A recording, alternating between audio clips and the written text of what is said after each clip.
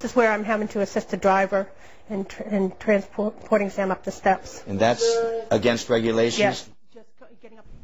This is home video revealing the trouble many disabled have just getting around San Francisco. We should say still have. That was last year. It hasn't been fixed. Muni issued an apology today and promised that a remedy would happen soon to a system that's riddled with safety violations and chronic tardiness. ABC7's Vic Lee is here tonight with a follow-up for us. Vic? Well, Jessica, Pete, uh, we're talking about Muni's paratransit system, which carries disabled passengers. Now, last summer, when we first aired our story about the problems the system was having, we ended our report by saying those we spoke with fear for their safety and believe the service has disrupted their lives. Tonight, we begin our follow-up report with those same words.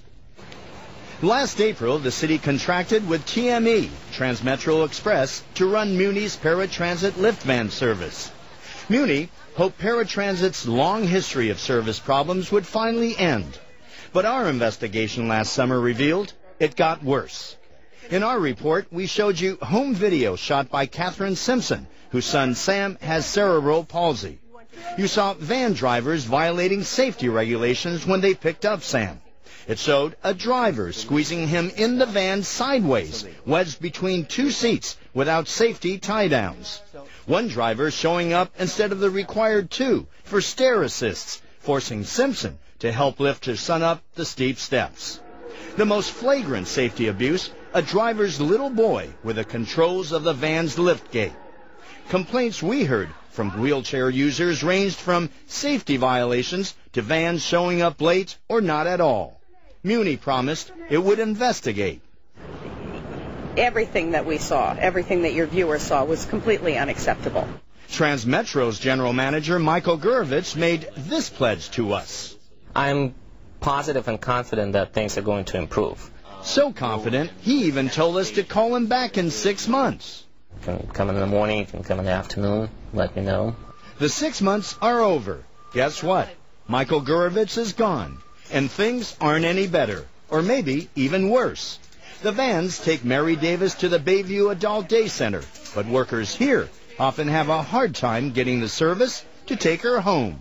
They used to call and call and they didn't get no bed, so they called a cab and put me in it.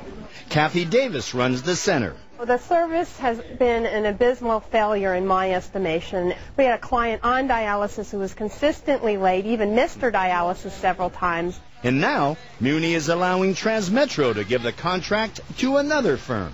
I think they probably bit off a little more than they could chew. San Francisco Supervisor Bevan Dufty sits on the Metropolitan Transportation Authority.